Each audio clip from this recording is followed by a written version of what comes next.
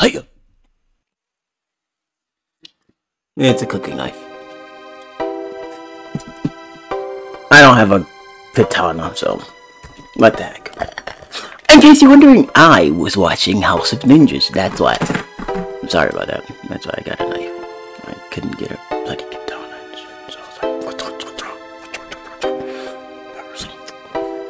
Yeah, that was embarrassing. It was really embarrassing. So goddamn embarrassing. But imagine it, only. Or like, and then with my camera. Like a dumbass. I'm not a dumbass. I'm not.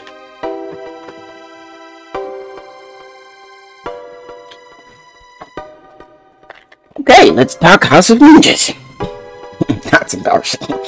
Can't believe I did that. That's very embarrassing. Whew. I'm sweating and I didn't do a damn thing. How, how do these people do this? It's beyond me. Tales of ninjas and their daunting uh, fighting skills, the mystery of the nature, fighting in the dark, wearing black, looking cool and mysterious, be, being present but not there, you know, in and out. It's the beauty and the marvel uh, of ninjas and have been portrayed in so many brilliant movies and shows across the world. Uh, uh, the Japanese or the ideology of a shinobi, uh, a ninja, has always captivated my imagination. The brilliance of it.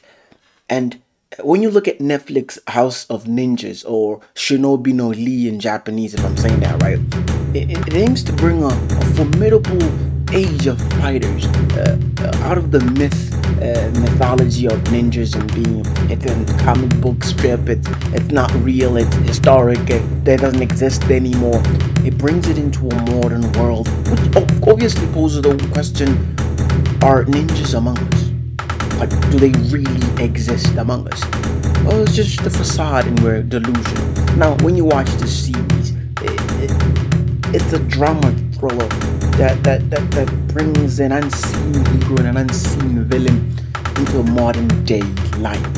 And it follows this uh, the life of a dysfunctional family, the Tawara family, uh, which is surprisingly the last surviving clan of ninjas. And of course, they abandoned their roots because uh, on their last mission six years ago, I'm starting to spoil shit now. The their their eldest son uh, I'm, I'm, sorry if I'm not saying this name right. Uh, Gaku, Gaku, if I'm saying that right, that was in G A K U, uh, dies tragically in you know last mission, and the family is devastated, heartbroken, and so they sort of retire from uh, the world of Shinobi, and they start to you know try to normalize their lives in a way. Now they have a son, uh, a younger son who's about six or seven or eight, and they have a second son. Um, and uh, a daughter. And the daughter was at the premise of becoming a Shitsui first Shinobi, but she doesn't, she hadn't, uh, you know, uh, com completed that training in a way and did an official, you know, Shinobi mission. And she starts, you know, stealing of it. She's stealing artifacts. Nagi, if I'm saying her name right. Uh, N-A-G-I. Nagi, uh, beautiful young uh, Japanese lady, by the way, um, does this uh, little thing where she steals artifacts off a museum and then she posts it on Instagram or whatever. And somehow while she's doing that, uh, this Ninja X fella uh, follows her and tells her, you ain't no ninja. Ninjas don't do that. And it starts that little thing. So the story, the whole thing is beautiful. That eight episodes long. Everyone's got their little side story. Uh, you got the little kid, uh, Ruga Regu. If I'm saying that name, I keep forgetting. Uh, he he's the outcast of the family basically everybody's been a samurai uh, uh, why do i keep saying samurai everybody's been a ninja or shinobi at one point from the grandma to the mother to everybody he hasn't he's the only one that's been raised normal oblivious completely oblivious to the shinobi world the all he knows is from movies like everybody else he doesn't know that his family, the Tawara family, have a long history of being in the shinobi world. Of course, that that's just an alias name, not their real name. But this is an incredible. And then you've got Haru, if I'm saying his name right. He's the second eldest son, and he's the shinobi who cannot kill, which is incredible.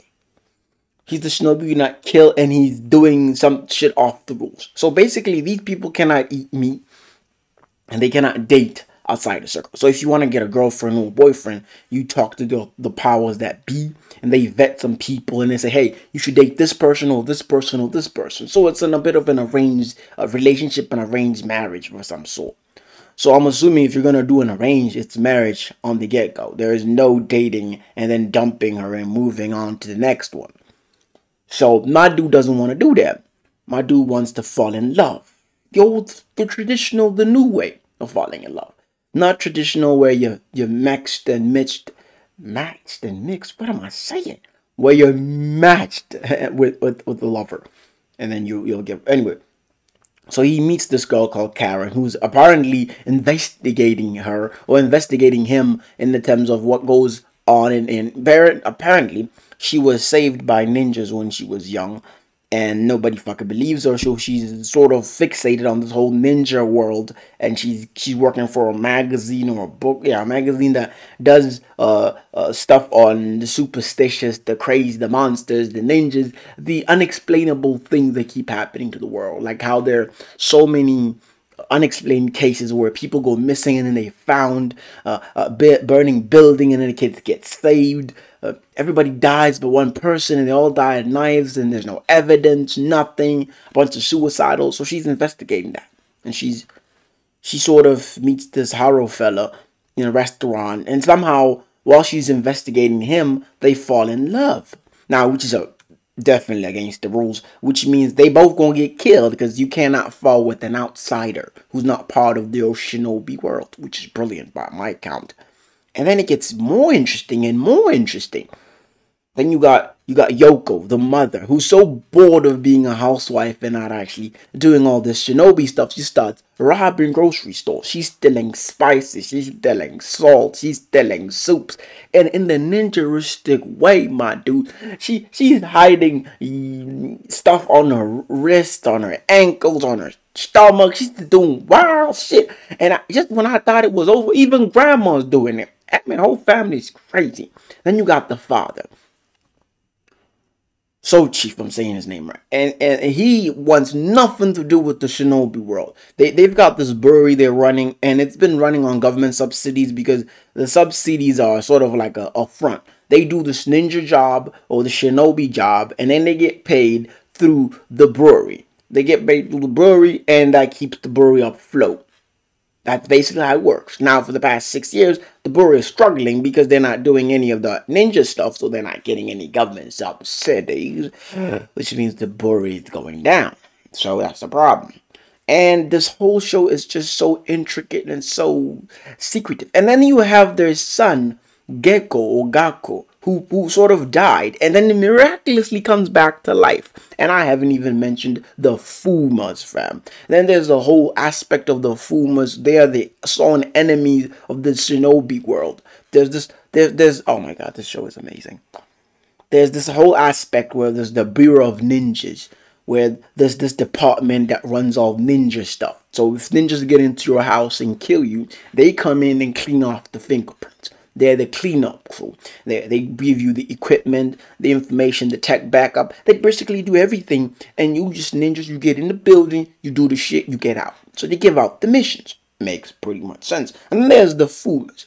The Fumas don't have that shouldership. They do whatever their current leader tells them. They ain't taking orders from a, a bigger and outside source, which they don't even know. And don't have ridiculous rules like you can't fuck that person, you can't eat meat, you can't do that. If you want to fuck a girl, you fuck a girl. You want to get married, you get married. Because that's how the Fuma don't do that. They're not be controlling your life like that. Which makes it interesting. Now, uh, the, the, the, the Tawara's eldest son, I'm spoiling the shit out of this. I'm so sorry. I'm so, so, so, so, so, so sorry. But it had to be done. Now, the Fumas themselves, they've got this leader guy and, and and he's just crazy. He's like I'm a god and shit, which is crazy. This nigga, there's a scene. I'm sorry. There's a scene where this nigga's hand gets chopped, and he thinks he's a god. He tries to stick it back in. I'm like, are you stupid?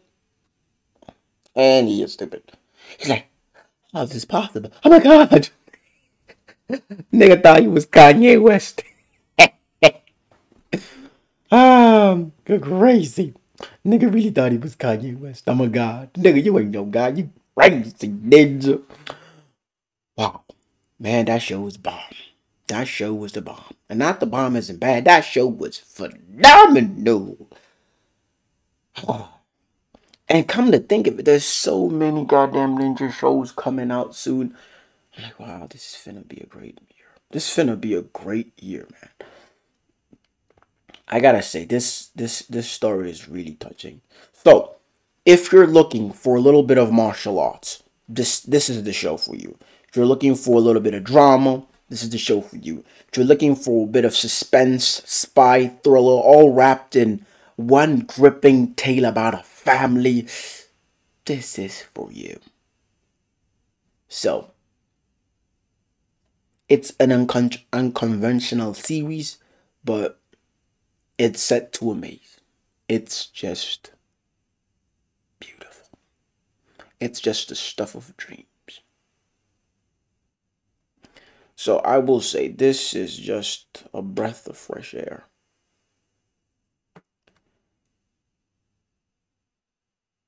So I say, yeah.